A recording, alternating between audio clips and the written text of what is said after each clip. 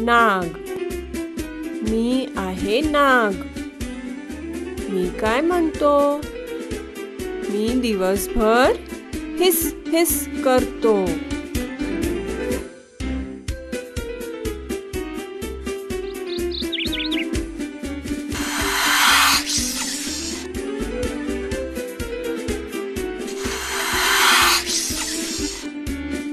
thank you